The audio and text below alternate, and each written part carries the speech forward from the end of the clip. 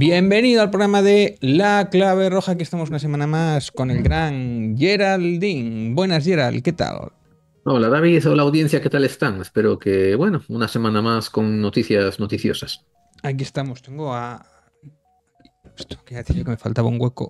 Uy, tendría que estar de este lado. Aquí faltaba el hueco de, del señor Trump. Yo lo estoy viendo a tu izquierda, ¿eh? Ahí no queda bien. Sí. Eh, vamos a empezar con el con lo que ha ocurrido estos días, con el gran la gran polémica que ha suscitado en todas las televisiones que se han hecho ecos, ¿no? La guerra, la guerra de audiencias. Eh, ¿Es el tema de Ucrania? No. ¿Es el tema de Rusia? No. ¿Es el tema de Donald Trump? No. Es, señores y señoras, el señor Broncano. El señor Broncano. Bueno, eh, hubo una polémica porque salió el jueves, que era el último día de la semana, salió Broncano en su programa diciendo básicamente que eh, teniendo el invitado ya al señor Jorge Martín, campeón del mundo de motos, en el camerino, en, a falta de media hora, eh, recibió presiones por parte del hormiguero e impidió que esa entrevista se publicara. Eh, y entonces salió en televisión diciendo, pues mira, estamos aquí contando esto, que no es la primera vez, que nos ha pasado muchas veces, que hay prácticas que por detrás malmeten el hormiguero para evitar que invitados que van a su programa vayan al de ellos o que por lo menos vayan primero en el suyo antes que en el de los demás, ¿no? Y utilizan malas artes dice que esto les lleva pasando eh, mucho tiempo, desde incluso cuando estaban antes en la, en, la revuelta, en, en, la, en Movistar, que no eran ni competencia, ¿no? Que ahora tampoco es que sean competencia, ¿no? Porque una es televisión pública, por lo tanto la publicidad no es tema de publicidad, ¿no? Más allá de que en el titular de los periódicos ponga que, son los que tienen más audiencia, ¿no? Pero en realidad la audiencia, o sea, el dinero les va a seguir llegando exactamente igual porque, porque no es competencia, básicamente. Yo creo que es más un problema de ego. Ha habido un montón, un montón de reportes que han contado que esta práctica es habitual desde los 15, 18 años que lleva el hormiguero. De hecho, Buenafuente se quejó en algún momento dado que le quitó el invitado de Silvestre Stallone, que le quitó varios invitados, incluso también una vez que le quitó a, Javier, a Zardá, eh, que es una práctica habitual de, dentro del hormiguero, mala praxis, ¿no? A la hora de, pelear por estos invitados y, hacen valer su supremacía en cuestión de audiencia, de dinero, de potencia y de, no sé si de manipulación o de intereses, porque también utilizan, ya digo, mala praxis en plan, pues si vas a otro programa antes que al nuestro, pues igual te quitan patrocinadores o influyen contratos o, te vetan, ¿no? Porque de hecho uh, Noia contó precisamente que ella estaba vetada en el hormiguero por igual por saltarse este tipo de, de presiones, ¿no? Y entonces, pues enfadado, el señor Broncano saltó, saltó en el programa y lo contó, ¿no? Hicieron como 15 minutos o 20 minutos contando todo esto y que estaban un poco hartos y que se habían cargado el trabajo de ese día por culpa de este tipo de presiones, ¿no? Y que ellos, bueno, siempre hacen bromas del hormiguero, pero que ojalá en el otro lado pues hicieran bromas de aquí en vez de malmeter por detrás. Esto lo que provocó es que eh, los 20 o 30 minutos restantes del programa eh, dijo, pues vamos a emitir un vídeo de unos animales cazando con unas musiquillas graciosas durante 20-25 minutos porque se han cargado el programa de hoy, ¿no? Fue una especie de, de, exponer, de tirar de la manta y de exponer un poco esta mala praxis que a ver si se acaba, ¿no? Y en plan, oye, que no queremos competir con ellos, que nosotros es otro rollo, que los dos hacemos comedia, pero que, que a nosotros no nos importa que haya un invitado allí, que haya acá. Bueno, también hubo alguna invitada de la semana pasada mismo, ¿no? Que en el hormiguero le decían que solo podía ir el mismo día que había quedado con el hormiguero y tuvo que cambiar el hormiguero para cambiarla a una cantante famosa. Yo no la conozco, pero una cantante famosa y tal. O sea que tiene ese mismo tipo de mala praxis y contra el más débil, además, ¿no? En principio, aunque bueno, ahora ya es un, programa importante, pero bueno, no es lo mismo que el hormiguero que ya está como consolidado y bueno. Eh, básicamente, al final parece ser que información que nos están diciendo desde el español es Broncano sí grabó la entrevista a Jorge Martín, todo sobre la polémica sobre la revuelta del hormiguero. El español, por lo que sea, es más de Pablo Motos, por lo que sea. Y habla de que bueno, la han grabado y que la emitirán a posteriori. Una vez que ya haya salido un hormiguero, podrán publicarla. Yo no lo tengo tan claro esto, ¿no? Dice que es un error, eh, eh, bueno, el hormiguero dice que es un error ajeno la organización del formato pidió cambiar la entrevista por Martín a uno de los representantes, Albert Valera, dio su visto bueno sin consultar al otro, quien había gestionado el acuerdo de prioridad con el hormiguero. Fue después que el piloto compartiese la imagen en Instagram en el que el piloto compartiese. Bueno, el piloto en el Broncano no dice que es el piloto, dice que era, era Ponce, el que a falta de media hora o algo así lo publicó por Twitter. O sea, no puedes publicar por Twitter quién viene a tu invitado porque te lo puede pisotear el hormiguero. Pues lo publicó por Twitter a falta de media hora, entonces se enteraron porque deben estar muy atentos a las redes de todos los de la competencia y entonces recibió la amenaza, en teoría, ¿no? Eh, pues parece que la entrevista se realizó y no hubo amenaza alguna, solo cumplimiento de un contrato de prioridad, dicen en el español, ¿no? Aquí la, eh, te voy a poner la, la entrevista. ¿no? Vamos con la entrevista, vamos a ver. Voy a dar primero el titular. Buenas cosas hoy, ¿eh? Buenas cosas. Hoy esto ha pasado poco, ¿eh? Uf. Voy a dar primero el titular y luego ya explicamos la situación. El programa sí que tiene muchas cosas, ¿eh? Hoy eh, iba a venir, de hecho está aquí abajo, Ah. Jorge Martín, campeón del mundo de MotoGP. No lo puedo. Sí, sí. No, no. Espera, espera, no aplaudáis. Está ahí abajo en Camerino. Eh, ahora son las, bueno, son las 6, por eso hemos empezado más tarde. El programa no- normalmente se empieza a grabar a las 5, 5 y algo. eh, y a las 4 y media nos han dicho que... Ah, pero no era en directo esto. No es en directo. No jodas. Eh, como un rato antes... Es que ya creo que ya después de tantos años hoy es el día de hablar de esto, porque... Explicar lo que ha pasado. Eh, media hora antes de empezar el programa más o menos nos han dicho que en el hormiguero se han enterado que venía hoy aquí. eh, y como en teoría iba la semana que viene allí con ellos, y ellos no quieren que nadie venga aquí antes que allí, han, han movido sus... Es que tal cual. Es que es tal cual. Un momento. Es que solo puede haber una moto. Es que no. Eh, han- no voy a entrar en detalles de cómo lo han hecho y tal, pero ellos tienen sus formas de presionar con estas cosas. Quitar Eh, patrocinadores. Y entonces Jorge nos ha dicho que no puede, que no puede hacer la entrevista hoy aquí porque, bueno, han- han- han- no entro en detalles. Eh, han hecho las cosas que ellos pueden hacer para esto y entonces hoy Mala no praxis, hay, no hay entrevista porque él no, no, no- nos ha dicho, lo siento mucho, pero no puedo ir al programa porque si no pasarían algunas cosas.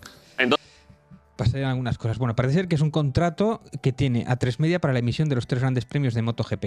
Pero el caso es que pasó algo muy similar con Buenafuente y con Fernando Alonso, que teniendo la sexta el contrato de prioridad, resulta que Fernando Alonso apareció en el hormiguero y no apareció con Buenafuente. Ahí se pilló un cabreo de la hostia. También Buenafuente. Eh, o sea que al final siempre saben cómo salirse siempre con las suyas, ¿no? Cuando yo- eh, eh, él no quiere competir con el hormiguero. A él le da igual que venga uno u otro, hace otra cosa distinta. Hace otro tipo yo no diría que no quiere competir, yo diría que no sabe competir con otros programas. ¿eh? Bueno, me refería a Broncano, que Broncano no es que quiera competir con, Ah. con el hormiguero.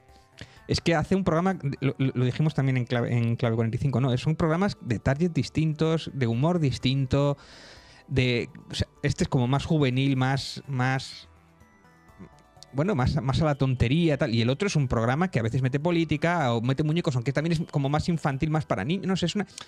Siendo, en- puedes decir que es como para todos los públicos, pero son programas completamente distintos. Este empieza un poquito antes. No sé, es como... O sea, es más, es que no le ha quitado audiencia prácticamente. Habrá quitado un 10% de audiencia, porque es que los targets son distintos. Este es... eh, Broncano, el programa de Broncano es un programa que, que- que viene de las redes, que viene, su, su grueso es igual eh, juvenil adolescente, que viene de las redes. Sin embargo, el otro como más familiar, más veterano, y ya te digo, las audiencias siguen siendo ahí. O sea, que es que no le quita publicidad, no lo único que le quita es el titular de ser programa más visto en esa franja horaria. Es lo único que le ha quitado. Pero es, es yo creo que es puro ego. Bueno, el hormiguero mandó un, el hormiguero mandó un comunicado por Twitter diciendo ha sido un malentendido sin mayor importancia. Dos semanas antes de la final habíamos acordado contar en exclusiva con Jorge Martín en nuestro programa. Hoy uno de sus representantes ha cometido el error de cambiar la visita que tenía programada con el piloto, tras lo cual... Vamos a ponerlo.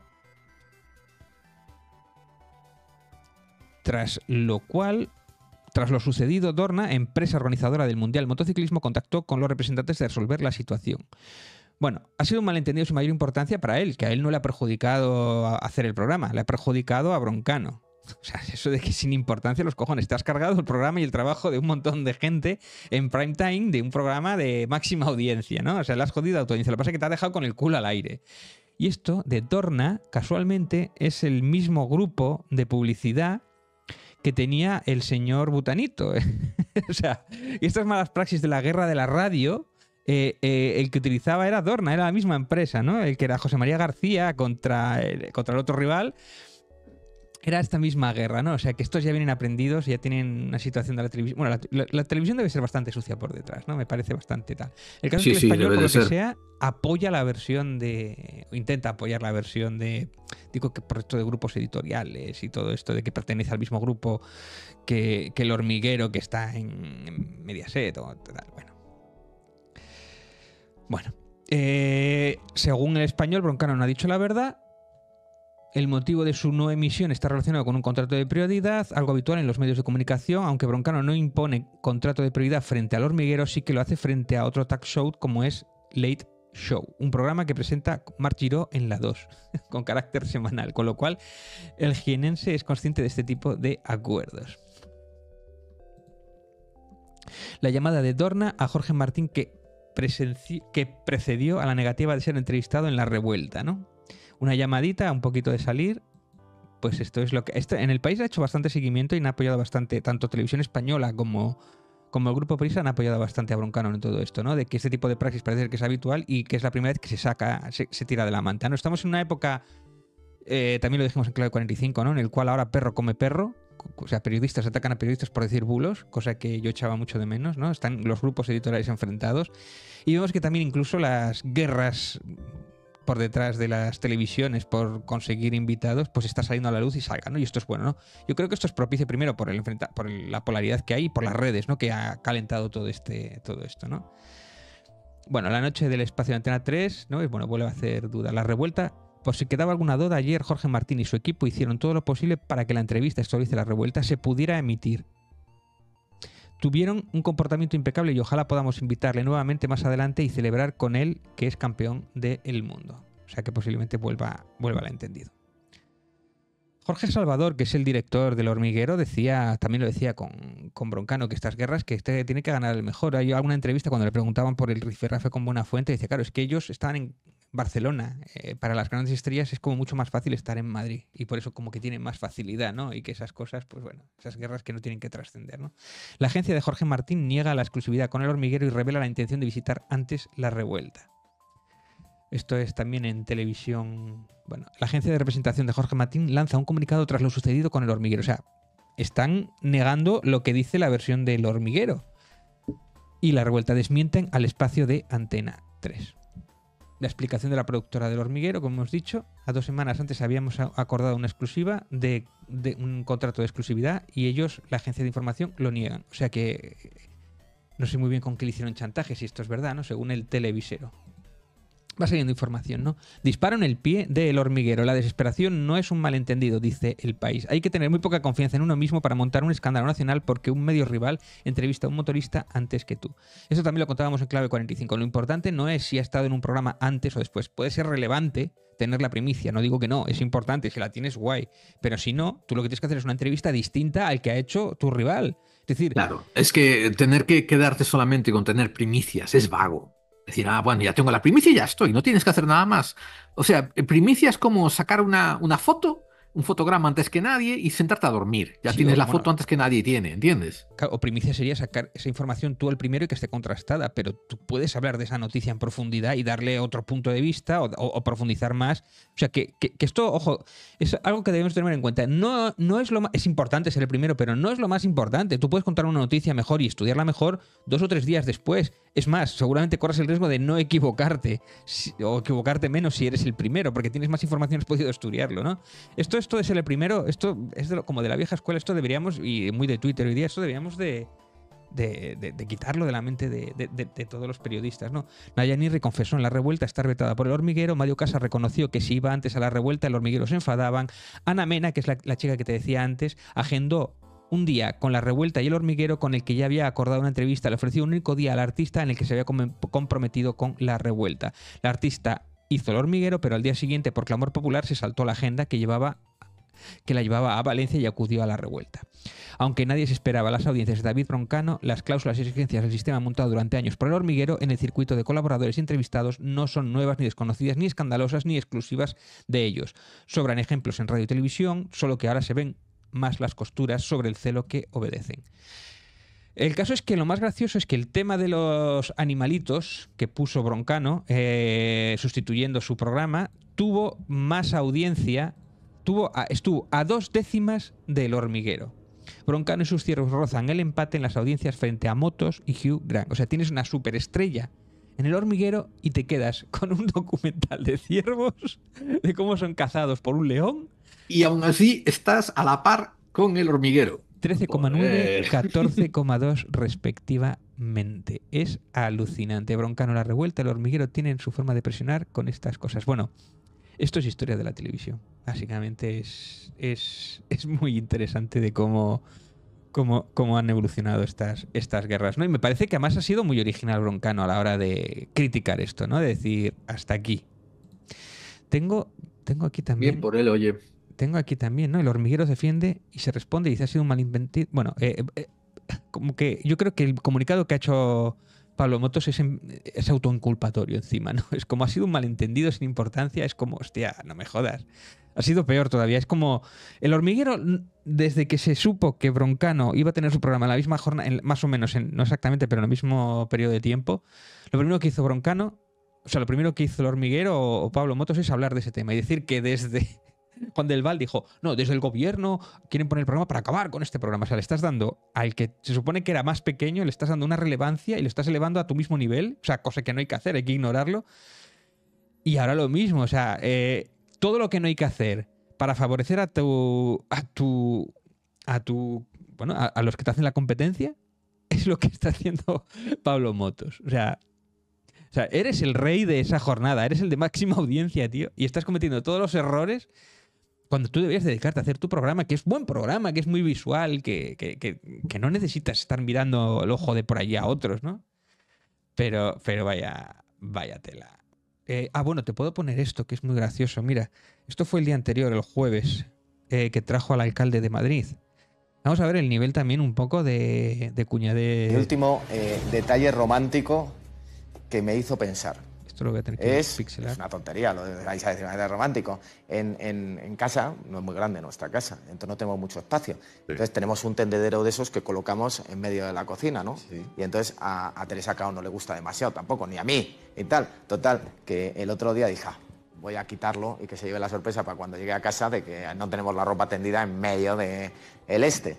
Total, que lo quito. Es que es increíble. Lo quito, fíjate. Qué ¿eh? romántico. Bueno, oye, oye, también, ¿eh? no, Los no, regalos románticos a su nivel. pueden Vale, vale, ser, que me está oye, metiendo pueden por- ser enviar flores, regalar un libro o Recoger hacer cosas que ya claro nunca que sí. esperaría que tú hicieras. El Romero bueno, hasta tal punto que no esperaba que lo hiciera, que su reacción fue, ¿te sientes culpable por algo? pero, pero ¿cómo que me siento culpable? O sea, lo he hecho Eh, bueno, Almeida feminista. Gerald, ¿qué te parece? Gran, gran, sí, va a salir en los libros de historia como gran proponente del feminismo. Desde luego que sí. Eh, ha recogido, ha recogido la ropa. Wow. O sea, vaya. Muy bien, muy bien. Bueno, está bien que la gente conservadora eh, haya llegado a los años 80, ¿no? Cuando ayudar en casa era ya ser buena persona o ser feminista. poco a poco, van a otro ritmo. Sí, sí, pasó a otro ritmo, batuta a su ya- paso. No los, no los apures, ¿no? No los apures que si apurarlos es woke. Te paso la batuta, que ya di bastante turra, Gerald. Sí, diste bastante turra con un tema bien pequeño. Yo voy a dar bastante la turra ahora, me voy a comer la otra mitad del programa con Bien. un tema bastante grande. Tenemos gabinete en Estados Unidos, tenemos gabinete que va a influir el resto de la, de la política mundial. No sé cuánto influye el hormiguero a la política mundial, pero por lo menos este otro hormiguero que hay aquí, pues es mm, seguro que un punto le saca más de ventaja a Pablo Motos, ¿no? En cuanto a influencia mundial. O sea, hablo de los MAGA y los influencers.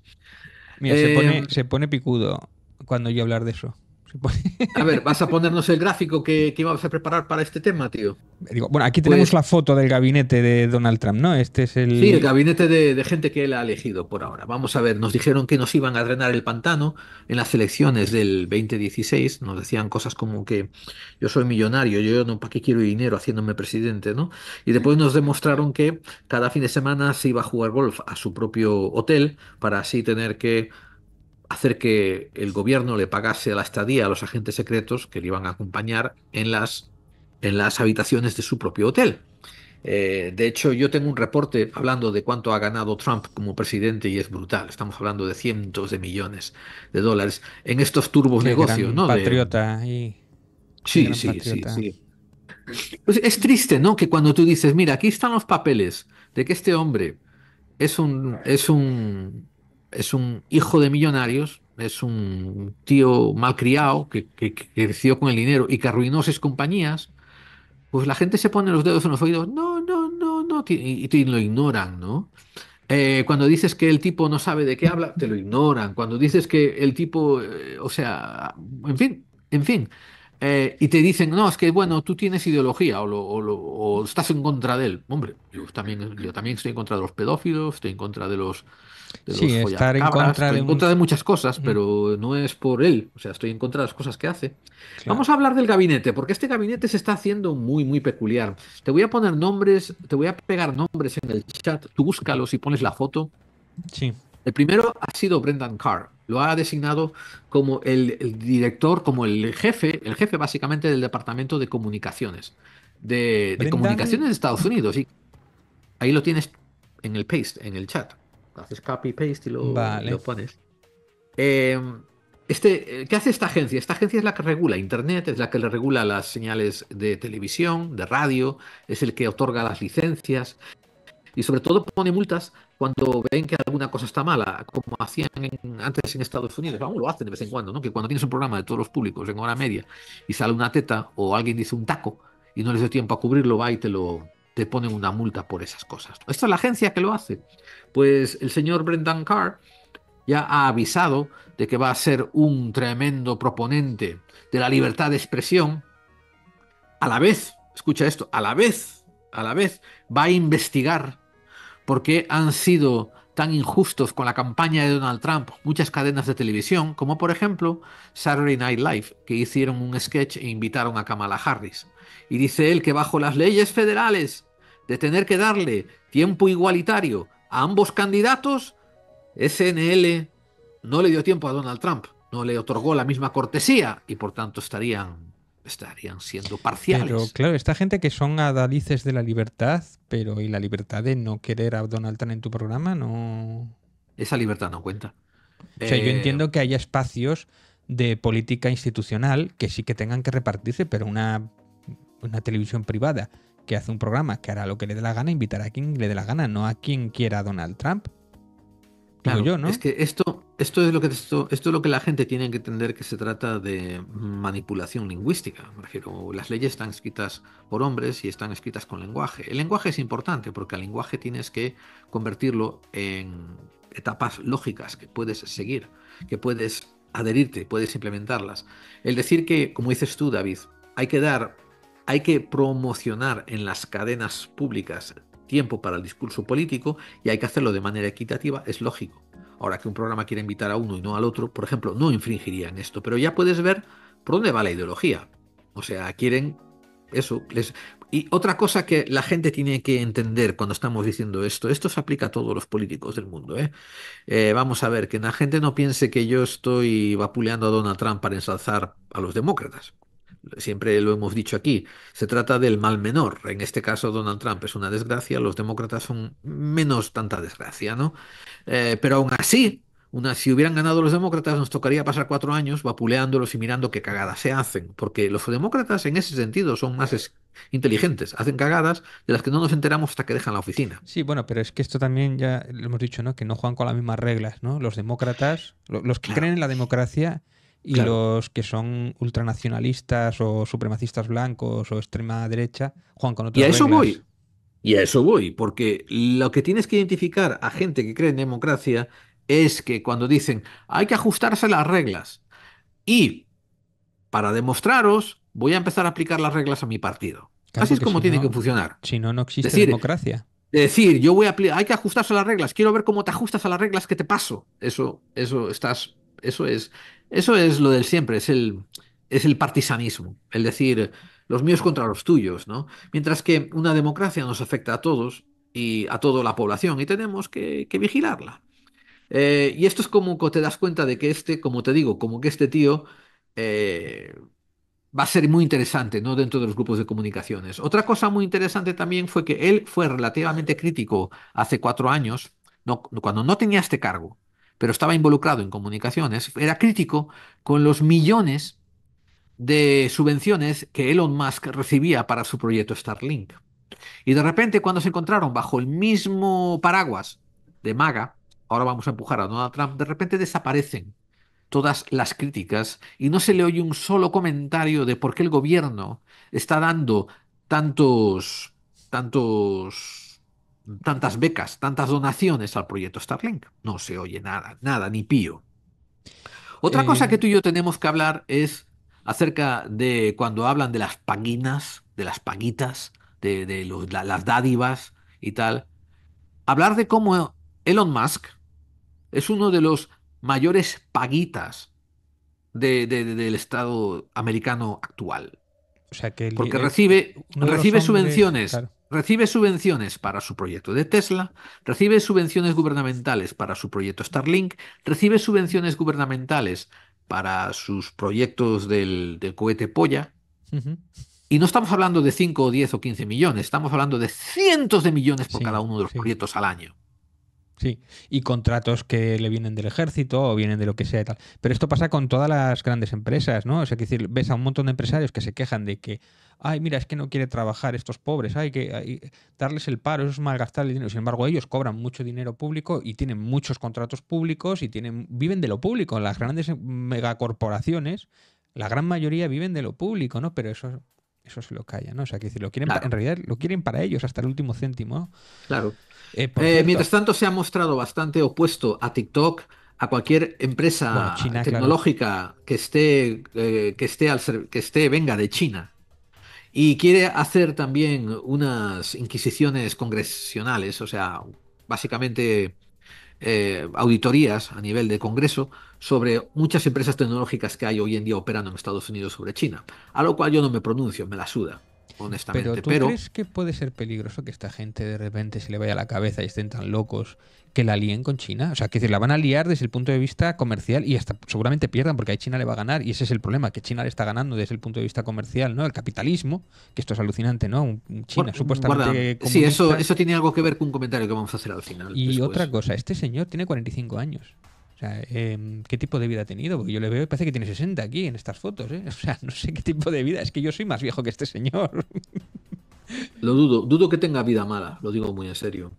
Em, la siguiente persona que Trump ha puesto en el gabinete, si me vas, no, no, no interrumpamos mucho porque tenemos Sí. como que recorrer ve- 15 o 20 nombres. Vale. Es, es Susie Wheels, eh, W-I-L-E-S. ¿Quién es ella? Ella va a ser el jefe de plantilla de Donald Trump. O sea, que dentro de la Casa Blanca elegir a todos los que van a estar alrededor de él, qué funciones hacen y tal, tienen que pasar por ella.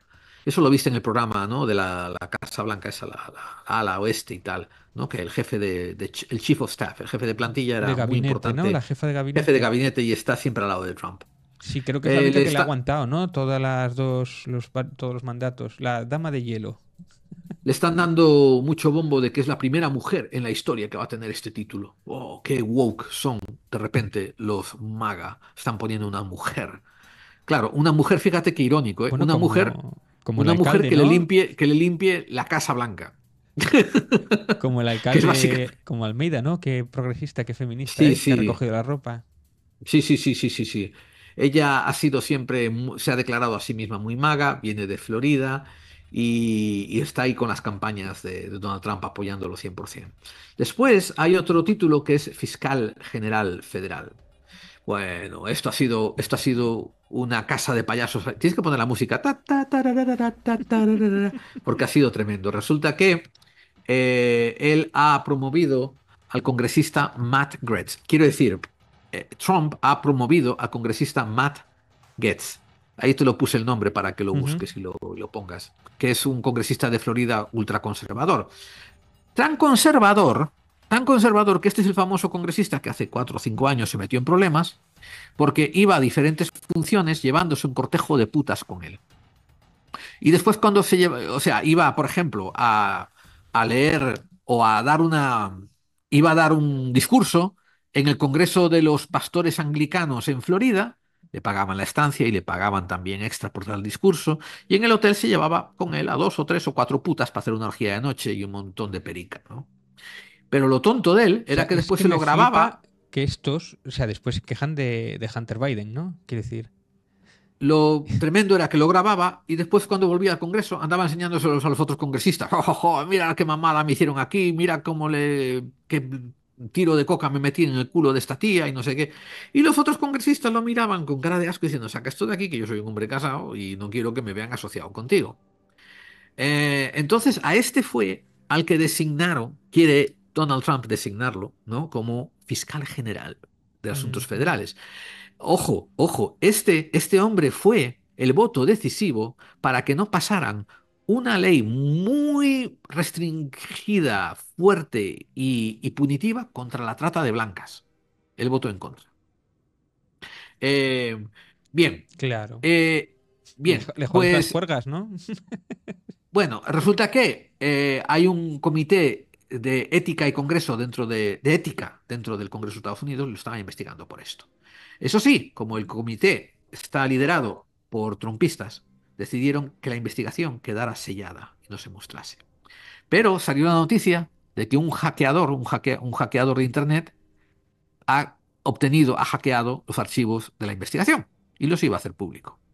Y entonces él hizo una jugada muy peculiar. Como han transcurrido las elecciones del 2024 2024 y Florida votó para retenerlo como congresista, fíjate lo que han hecho él. Él ha dimitido por lo que le queda de año. o sea, de aquí a enero, ha dimitido. Pero como lo han votado para que continúe en el 2025, cuando empiece enero, él volverá otra vez a su puesto. Y al dimitir, el Congreso no tiene nada que investigar. Y entonces por eso han sellado su investigación sobre putas y cocaína que... Ah, y menores. Una de las putas Claro, tenía a mí 17 me estaba años. faltando ese último apunte de lo de las menores, ¿no? O sea, eh, Una de las putas tenía 17 años, ¿vale?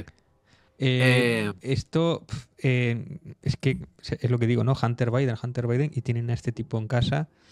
Y es Es más, es- sigue teniendo su trabajo. O sea, que decir, esto, si pasa en un, en un partido político que no es de extrema derecha, automáticamente ese tío está fuera. Pero en la extrema derecha Claro. eh, lo siguen arropando, ¿no? Pues, Claro, pues, claro. Y, y- y Enrique de Vicente no lo veo haciendo un especial sobre, sobre Matt Gaetz y sus putas y coca, ¿no? Sí, se- sí está enfocado en la, en la computadora de Hunter Biden. Y sigue todavía emperrado con ello. Que ojo, no digo que no haya que hacerlo, lo de Hunter Biden, ¿eh? Hay que hacer todo. Claro. Hay que hacer todo. Hay que hacer O sea, todo. porque es que si no, los que perdemos somos nosotros. Exactamente, eso es el fiscalizar al gobierno, fiscalizar al poder. Todo. Se trata de Hay que enfocar claro. con luz a todo para sacar a las cucarachas. y darle la importancia que tiene que tener, no exagerar Desde luego. uno y minorizar otro, porque entonces ahí estás distorsionando la realidad. Bueno, es que ahí es donde estás dejando que tu propia ideología te, te interfiera con, la, con el curso de la política, del gobierno de tu nación. Polis, política, la gestión de tu nación. Eh, pero no te preocupes, David, no te preocupes. Resulta que salió. Ah, él, él decidió bajarse y no ser fiscal general. Decidió no admitirse. Decidió mm, declinar. de- declinar el, el- el- que lo hubieran apuntado a fiscal general. ¿Y a quién apuntó Donald Trump? A la señora Pam Bundy. Te lo puse ahí el nombre, búscala. Y ahora te voy a decir otra cosa que te va a dejar con el culo torcido. La señora Pam Bundy es la fiscal de Florida. Florida, ¿qué pasa en Florida? ¿Qué pasa en Florida? Que hay tantos. Eh, o sea, Matt Gaetz es de Florida, ahora viene Pam Bundy de Florida. en Florida, ¿o qué? Sí. Eh, es la causante directa de que la lista de Epstein no haya sido admitida todavía a causa y haya sido investigada. Eh, Raw Story acaba de, acaba de hacer un artículo, te lo mando si lo quieres compartir ahí. Toma, ahí tienes el. Te mandé el artículo. Tengo aquí algunos enlaces. ¿Dejó pasar a Jeffrey Epstein a aceptar soborno de la Universidad de Trump? Efectivamente.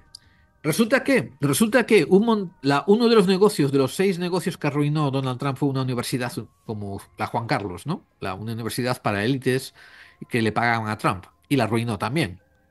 Y residentes de Florida las demandaron a Donald Trump. Y ella fue la que le archivó la causa diciendo, no, no hay nada que investigar.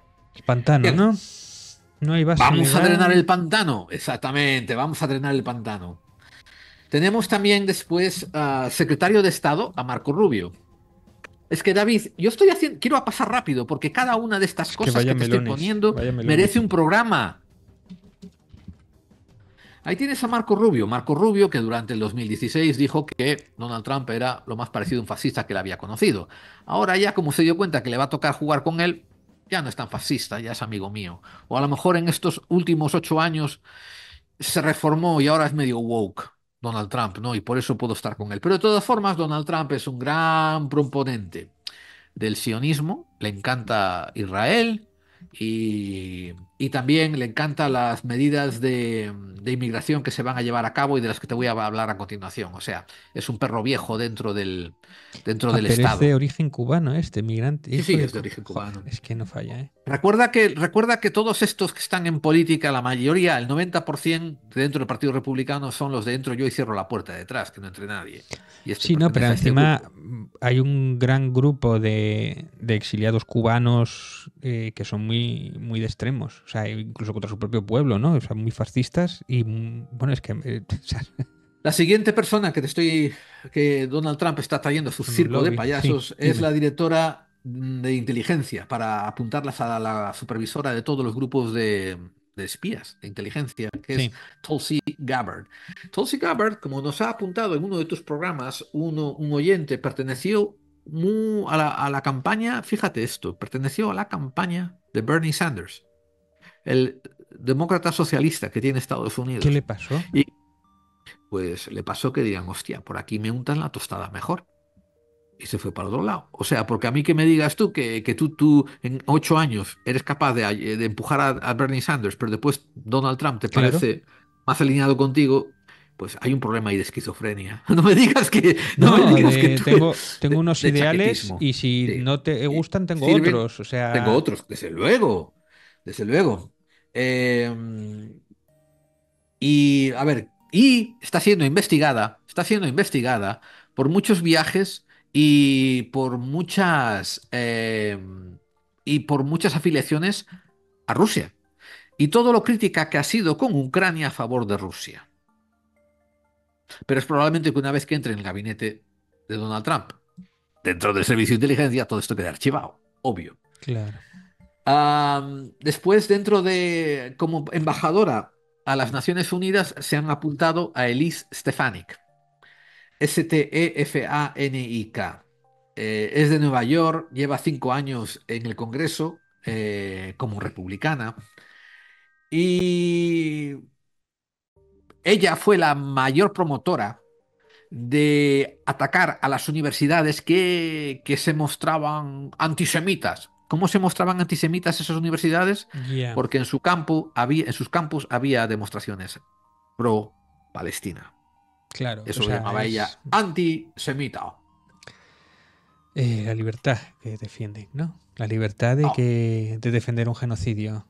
Ahora voy a traer un amigo tuyo, A ver. el señor Robert F. Kennedy Jr. O de este hablamos un poquito también. Este ha sido buenísimo. Robert, F. Kennedy Jr. Lo han, lo han designado como jefe del Departamento de Servicios Humanos y Departamento de Salud Pública.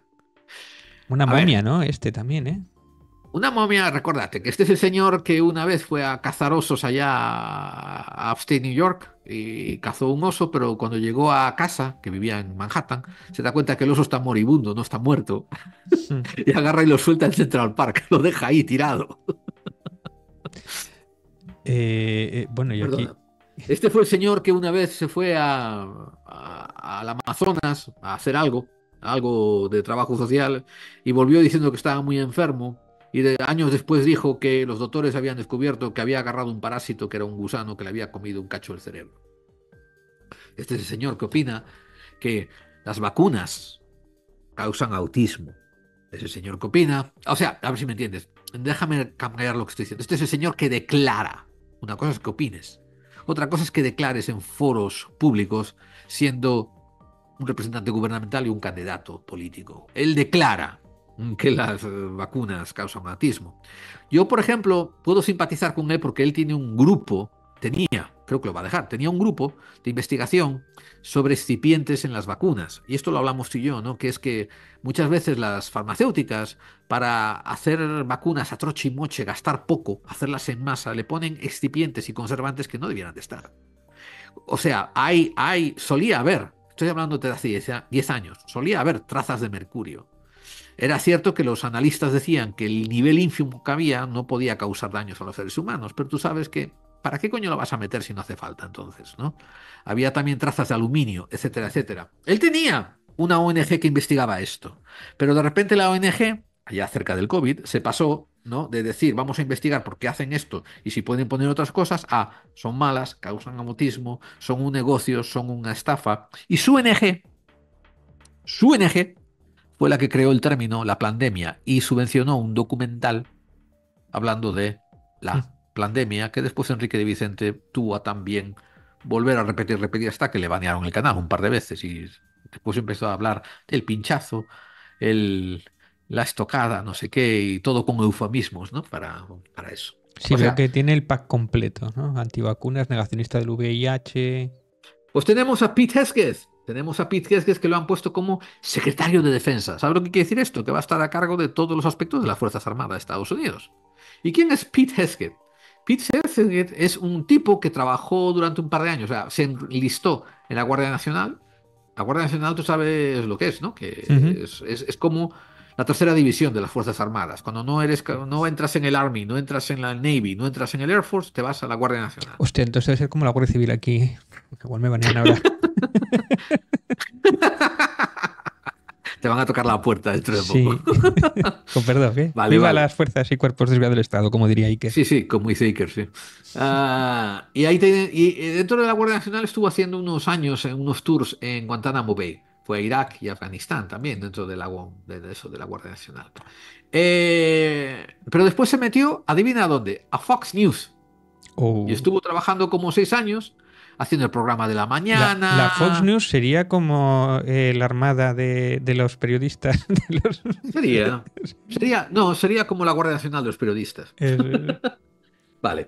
Esto. Ah, pero claro, para no quedarse atrás, empezó a acosar sexualmente a varios de los empleados. Para hacer honor a la Fox. Claro, y ahora tiene varias demandas que todavía les quedan pendientes de acoso sexual en el trabajo de la Fox. La siguiente persona de la que vamos a hablar es de Linda McMahon. Linda McMahon es eh, la esposa de, de, me acuerdo, de Jack McMahon. Bueno, es básicamente la, los, los ejecutivos que crearon la Wrestling Federation. El marido es Vincent Mc... Vincent McMahon, que recuerda, son los líderes de la Wrestling Federation. Cuando tú estás viendo a Hulk Hogan hacer. Ay, amigo, esta es la que salía, que le hacían una. La cogían y lanzaban. Eh, como sí, sí, una vez apareció y hizo, también trabajó en esto y tal. Y claro, como es parte de la Wrestling Federation y es tanto asombrosa dentro de, del mundo del entretenimiento, ¿a qué le han apuntado, a qué le han asignado? Al Departamento de Educación. Va a ser la líder del Departamento de Educación, David va a dirigir todos los aspectos del Departamento de Educación y le va a decir a los niños, ¡estudio más! Eh, no te lanzamos contra las cuerdas. No. Resulta, resulta que se descubre que ella había mentido en sus credenciales al decir que tenía un diploma, un graduado universitario de universidad. Oh. Y no era verdad, no lo tiene. Por tanto, por tanto, no solamente ha mentido en sus cualificaciones, sino que para colmo, ni siquiera fue a la universidad. Y poner a una persona que ni siquiera fue a la universidad a liderar el departamento de educación, ah, yo qué sé, no queda tan bien, no, no sé, no, no cuaja. Hombre, para cargarte la educación, pues la, la llamada educación de Estados Unidos, pues. Pero creo que era demasiado bruto, tío. Era demasiado burdo. No van a ir con ello. A ver, eh, secretario de Comercio. Tenemos a Howard Lutnick, L-U-T-N-I-C-K. Un billonario de Wall Street que cree que el cortar impuestos a los millonarios es lo que crea trabajo. Claro, claro, claro. Sin duda. Sin duda, y seguro. ¿va? también ha donado muchísimo a las campañas de MAGA, de Trump, republicana. Y parece ser que eso que le ha resultado bien, ¿no? Le han dado un, un chollito. El siguiente que vamos a hablar es el señor Selden. El señor Lee Selden, ahí te lo mandé. El señor Lee Selden ha sido, esto está graciosísimo, ha sido designado como jefe del departamento de, em, ¿cómo se llama? De, de environment, de, de medio ambiente. De medio ambiente, de Agencia protección de medioambiental. protección ambiental. Exactamente. Pero para, pero, Pero- para, claro, para eliminar todas las regulaciones Claro, para eliminar todo, porque el señor Selden es uno de los que cree que tenemos que ah, apoyarnos en el petróleo y en el y, y- y en el y en, y en gas natural O sea y que hay si que por empezar a- este fuera que volviera al plomo, a la gasolina. hay que empezar a hacer fracking, hay que empezar a, desi- a- a retirar las protecciones que hay a muchas zonas de recursos naturales para dejar que las petroleras empiecen a excavar. Coño, que la economía está mal, hay que levantarla. Eh, después tenemos al señor Radcliffe. El señor Radcliffe acaba de entrar como, bueno, lo están designando, esto todo pasa en, junio, ¿eh? lo están designando como el director de la CIA. El, el señor, de la, el señor Radcliffe eh, había trabajado en el gobierno de Texas. Este es uno que no sale de Florida, sale de Texas. Eh, y es uno de los, lo llaman uno de los más nuevos halcones de- del grupo republicano. Ha sido uno de los mayores proponentes de investigar la famosa, el famoso portátil de Hunter Biden. Es uno de los que cuando incluso los jueces decían, ya no hay nada que mirar, coño, este, joder, qué corruptos están. No se puede ser, esto, esto es lawfare y tal, no sé qué, están abusando del sistema político porque hay que investigar a Hunter Biden. Y es uno de los que cree que hay excepcionalismo americano. O sea, América tiene una cita con el destino y, y- y América Qué tiene bien. que... Nada tiene como que- algo mesiánico para meterle de, darle poder. A un tío que es así pensamientos mesiánicos, estupendo. Vamos a darle poder, Desde sí, luego. señor. ¿Qué puede fallar? ¿Qué puede fallar, verdad? Dios me ha dicho que tiene una bomba nuclear contra China o contra Putin. ¿Qué puede fallar? Eh, hay una posición muy interesante dentro del Departamento de Justicia que se llama Solicitor General, un solicitante general. Eh, han apuntado al señor John Sauer. Eh, John Sauer, curiosamente, es uno de los que más ha argumentado a favor.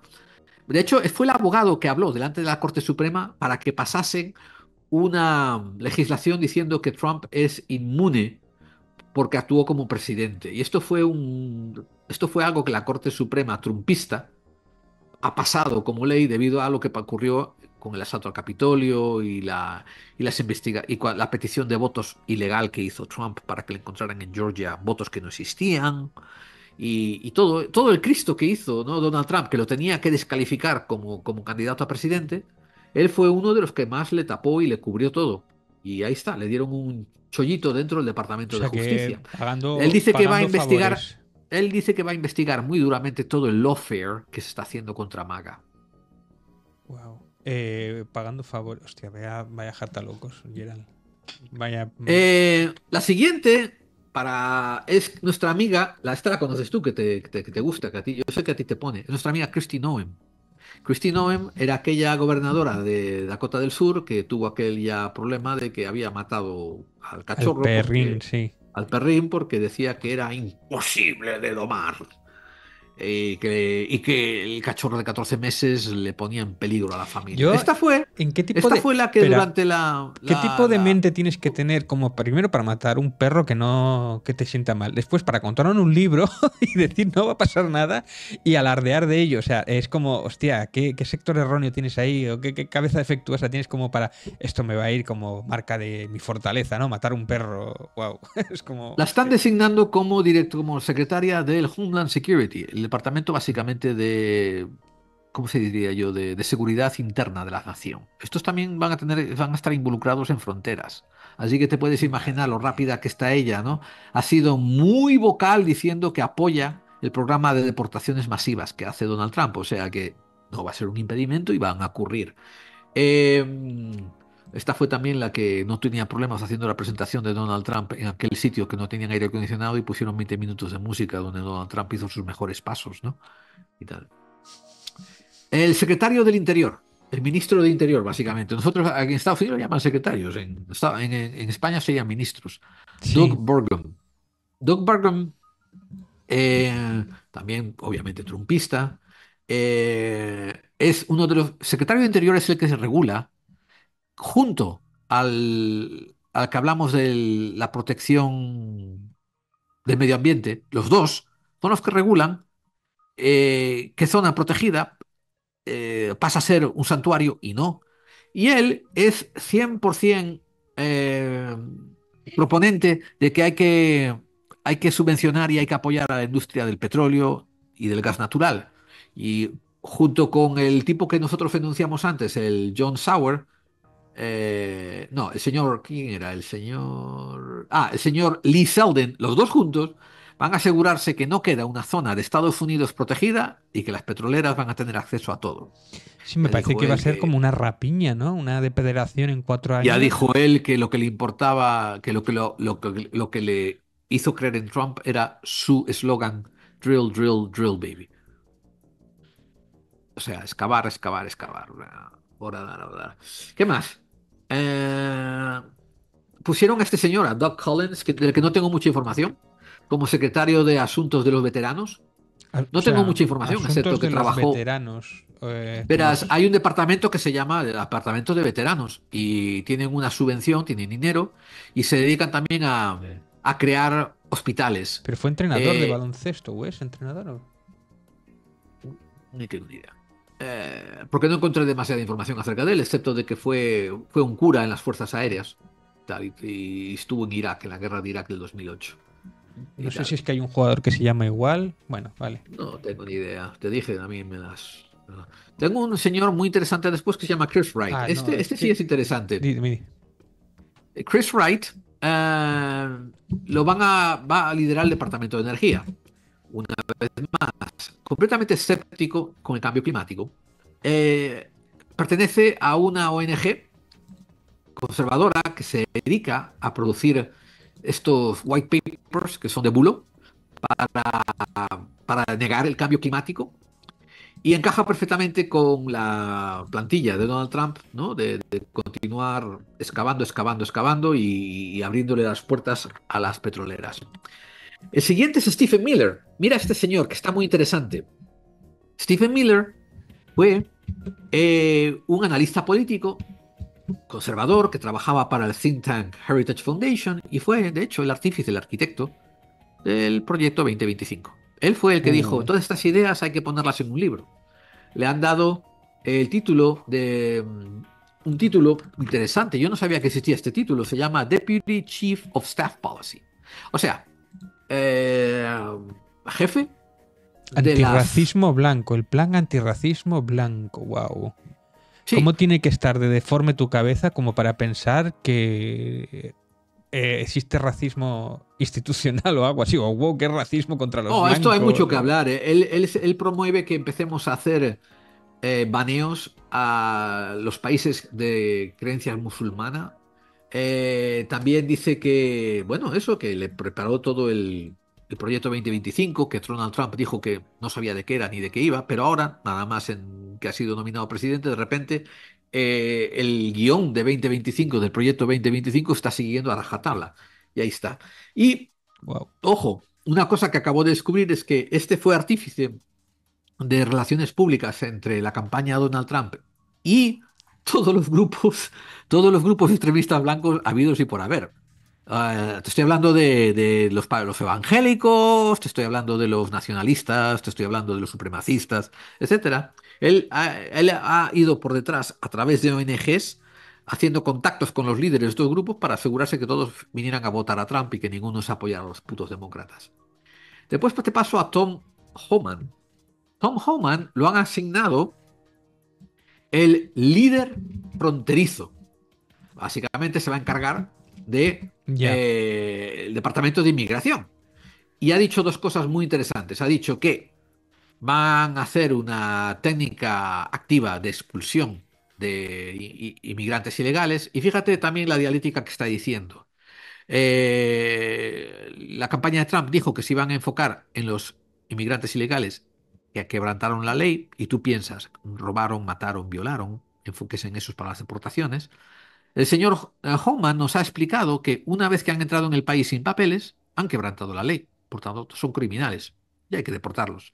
Y va a implementar estos sistemas de militarizar al Departamento de Inmigración para que entren con tanques, con, con carros blindados en ciudades santuario y empiecen a sacar sin papeles para prepararlos para la deportación. También dice que probablemente en los pueblos fronterizos de Texas habrá que hacer unos nuevos Guantánamos, donde los tengan ahí retenidos a la gente que no son fáciles de deportar, como por ejemplo asiáticos o, o de Centroamérica o de Suramérica, porque claro, ellos están pensando en su mente simple piensan que lo fácil de deportar son los mexicanos, que están ahí al lado de la frontera. Los tiras ahí al otro lado, ya están deportados. Pero ¿qué pasa con los haitianos? ¿Qué pasa con los argentinos? ¿Qué pasa con los chilenos? ¿Qué pasa con los vietnamitas? ¿Qué pasa con los Joder, rusos? Etcétera, suena etcétera, tan etcétera. nazi, suena tan nazi entrar en las casas, sacar a la gente, mover los tanques por las partes, invadir países ajenos para Bueno, hacer de Guantánamo. hecho, Suena hubo varios, nazi. hubo, varios, hubo varios gobernadores demócratas que han dicho en mi ciudad no entras.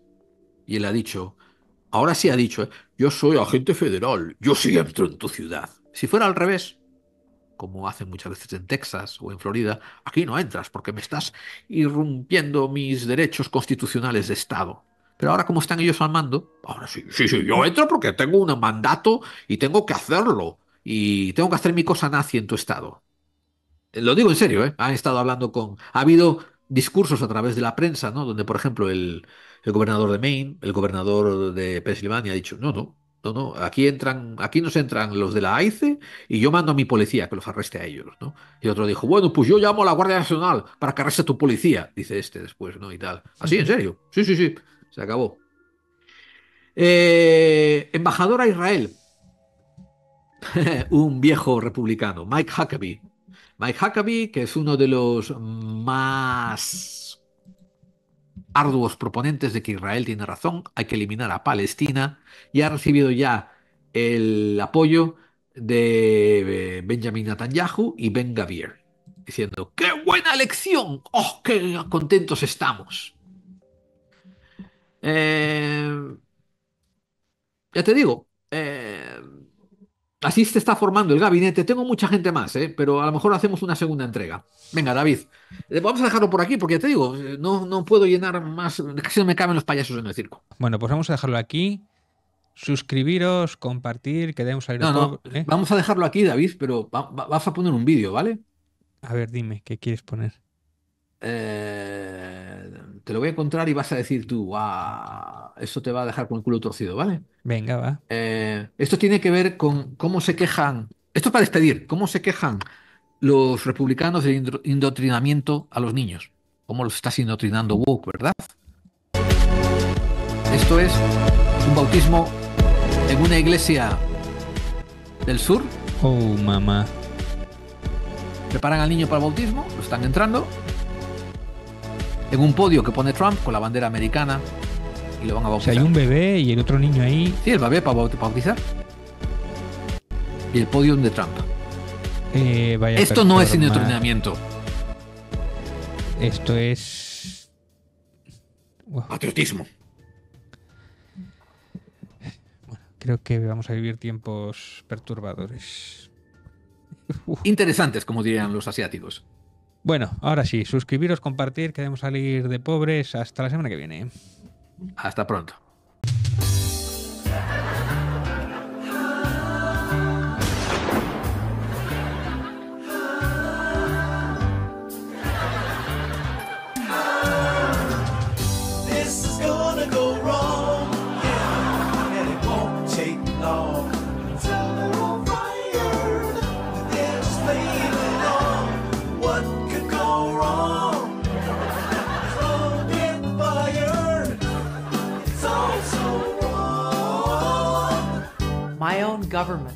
Placed me on a secret terror watch list. They'll all be gone by the end of this song.